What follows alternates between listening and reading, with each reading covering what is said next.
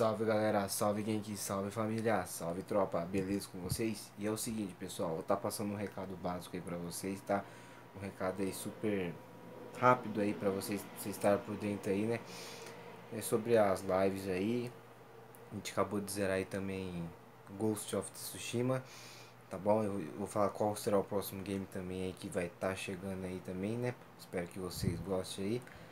E também falando aí agradecendo aí pelos 800 inscritos que já, a gente já passou aí, tá galera? Muito obrigado por vocês aí, pelo carinho, pela presença de vocês nas lives aí, que é aqueles que sempre tá podendo comparecer às vezes aí, tá?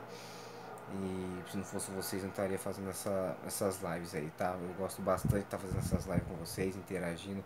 Sempre surge uma amizade um com o outro aí, né? Que, né? A gente sempre tá indo aí comunicando aí, criando novas amizades aí, interagindo aí um pouco aí com um, ao vivo no canal, né? Isso é bom pra mim também, né?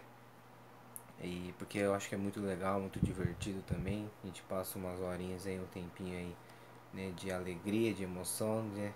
Então, então é isso aí, galera. Obrigado pelos 800 inscritos aí. A gente já passou, já estamos batendo uma meta de 850 aí mais ou menos, tá? Desde quando eu comecei a fazer live aí, o número subiu um pouco aí a mais do que eu imaginava. Tá indo bem até. Muito obrigado. É isso aí, galera. Tenho que passar para vocês é o seguinte. Vou estar tá falando aí uma análise aí um pouco de Ghost of Tsushima, tá? O game que a gente acabou de zerar aí. Tá? É um jogo muito, muito bom, na verdade, na minha opinião. Gostei bastante, tá, galera? Vou mostrar aqui para vocês aqui já. É, o, o jogo é, dou nota 10 pra ele. Ele é um jogo assim, né, que como fala. Assim, é.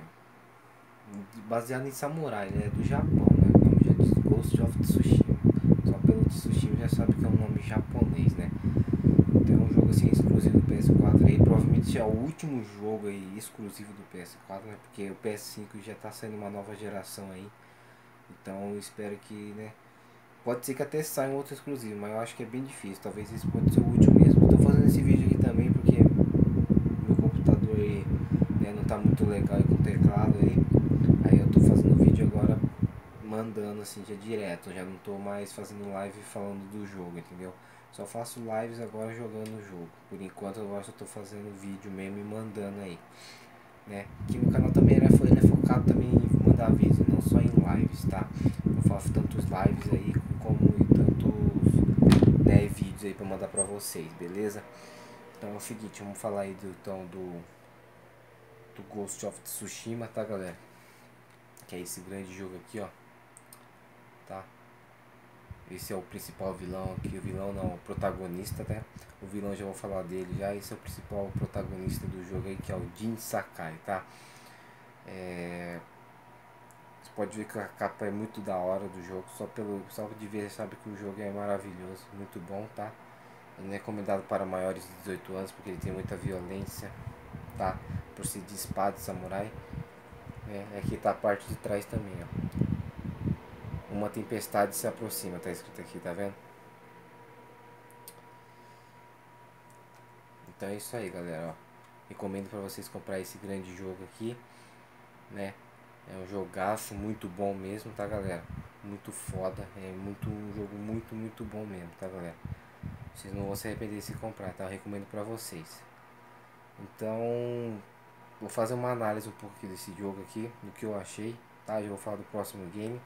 Muito obrigado novamente pelos 800 inscritos que a gente acabou passando já aí, né? Se não fosse vocês, não estaria fazendo essas lives aí também, tá? O canal cresceu um pouco aí desde quando comecei a fazer live, não esperava que ia crescer um pouco assim, né? Espero que cresça cada vez mais aí.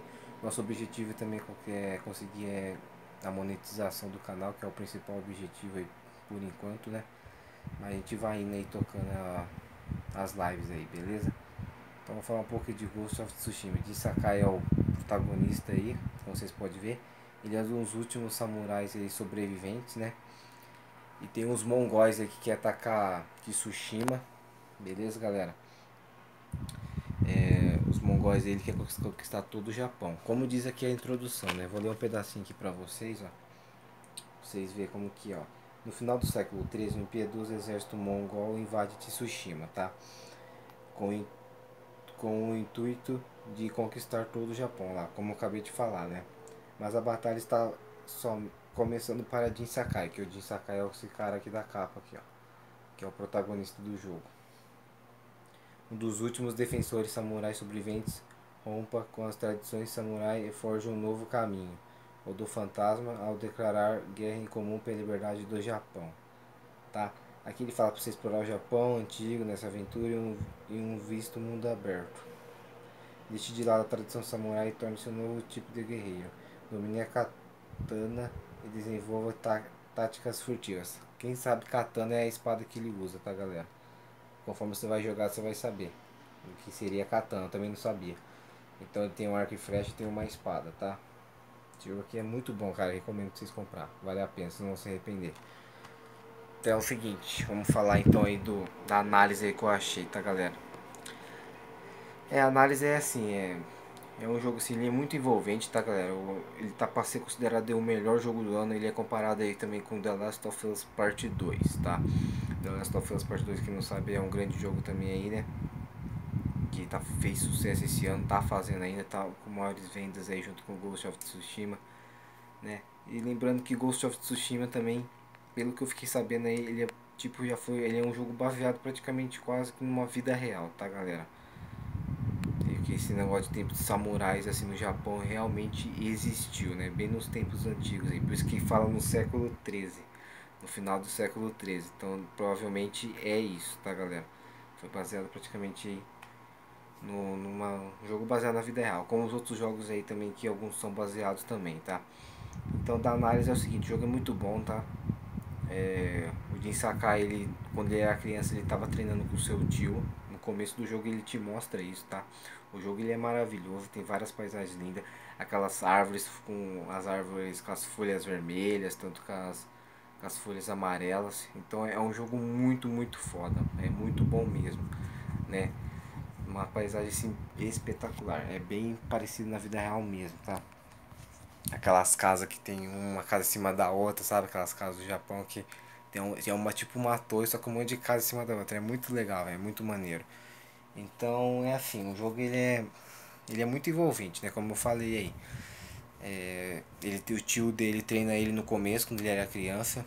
Só que ele acaba sendo um dos últimos samurais aí sobreviventes. Ele, aí os mongóis, que são os malvados, né, é, você tem que tentar é, reconquistar, eles vão tentar conquistar o Japão, só que você, tem, você não pode deixar eles invadir.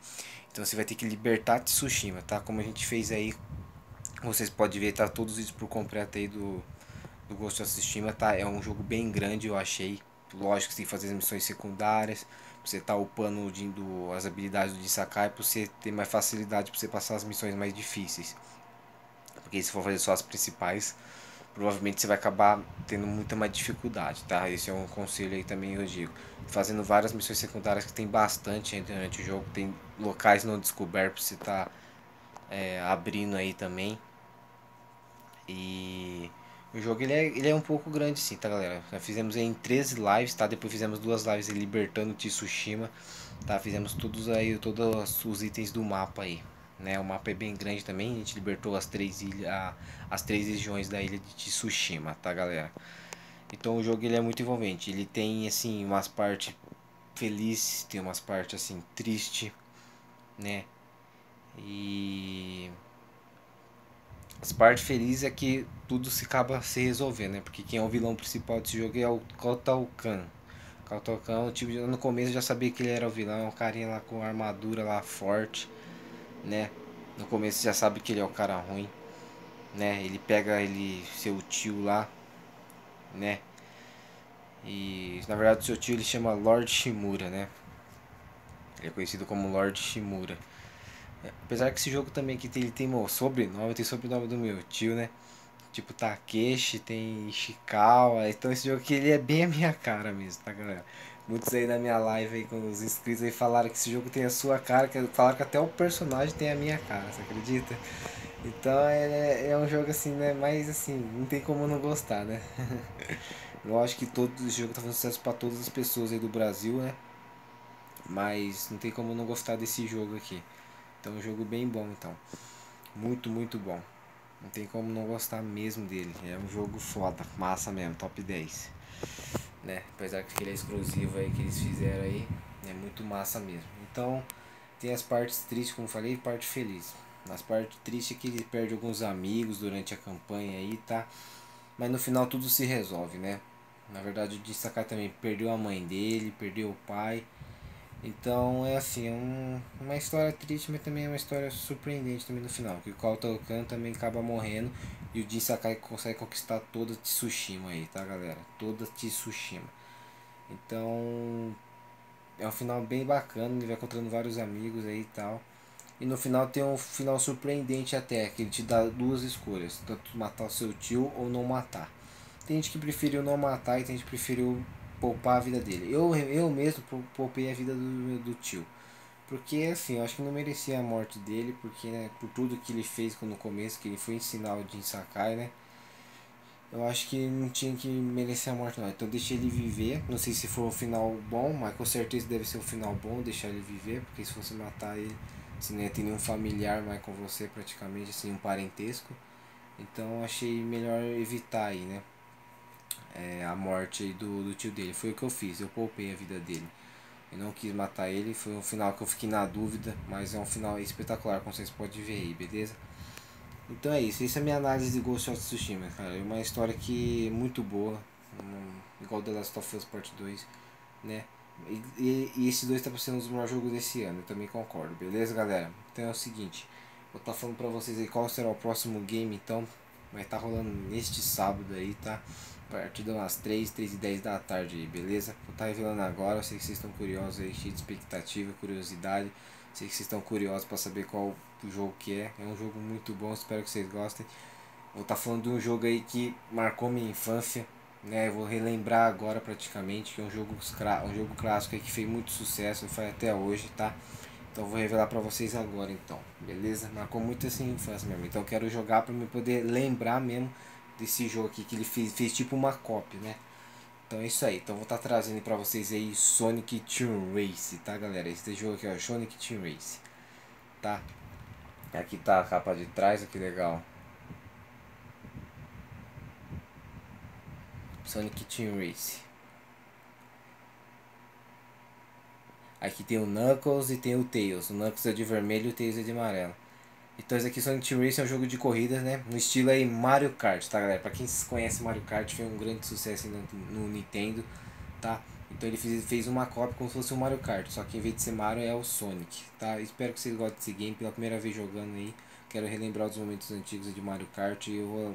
E Sonic eu, provavelmente vai ser um jogo bem bacana, bem legal e fazer as corridas aí fazendo trapaça, né? Como no Mario Kart. É um jogo bem bacana. Eu vou gostar muito e vocês também né? Para quem gosta de Mario Kart com certeza vai gostar também.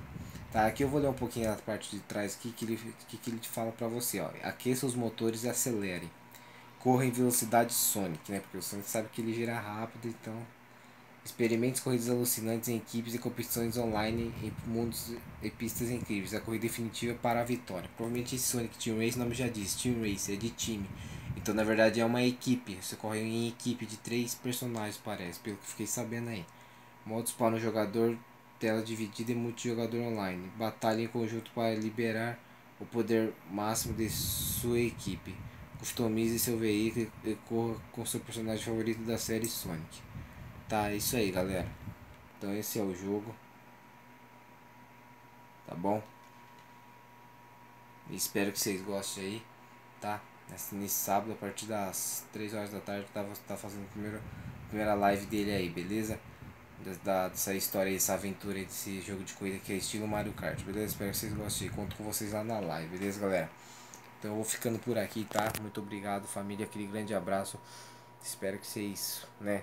Quem, tá, quem for assistir esse vídeo aí, não deixe de deixar seu like, curte, compartilha aí. Quem não é inscrito no canal e se inscreva, beleza? Dá aquela força. Então, vou ficando por aqui. Então a gente se vê lá com o Sonic. É, vamos lembrar os momentos aí de Mario Kart que vai ser muito foda esse jogo, né? Vai ser muito divertido. Eu gosto bastante do, do Sonic. Como eu sou fã também, né? Sou muito fã de como sou muito fã de Sonic também, com certeza eu vou gostar, né, por por ser no estilo do Mario Kart, tá? E é isso aí, galera. Tamo junto e é nóis, beleza? Então a gente se encontra na live lá. Espero que vocês olhem esse vídeo aí, tá? Que é muito importante aí. E se não esqueça de deixar o like como sempre aí pra dar aquela força, compartilhar com os amigos, beleza? Então até a próxima, galera. Tamo junto. É nóis, a gente se vê na live do Sonic lá. E espero, muito obrigado pelos 800 inscritos aí também. E fizemos a análise de Ghost of Tsushima também. E vamos com tudo pro próximo game então aí, beleza? Fechou? E é nóis, hein, galera. Valeu, falou e fui! Tchau, família. A gente se na live lá que tá bombando, hein? Beleza? Não perca, é nóis. Falou, tchau.